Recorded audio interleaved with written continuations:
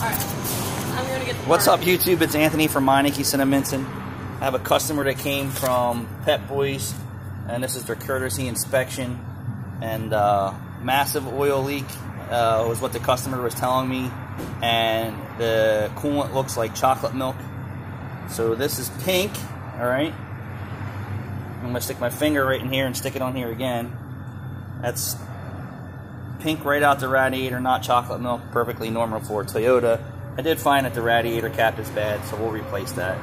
They also said massive oil leak. Uh, I do not see a massive oil leak.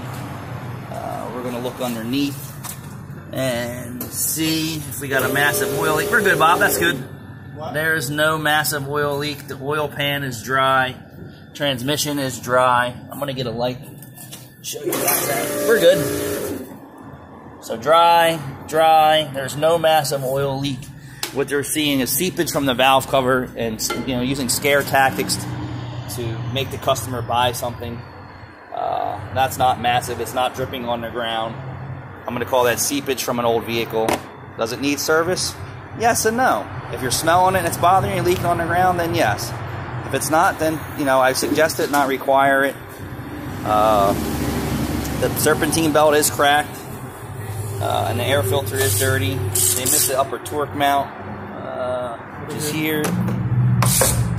That was bad also.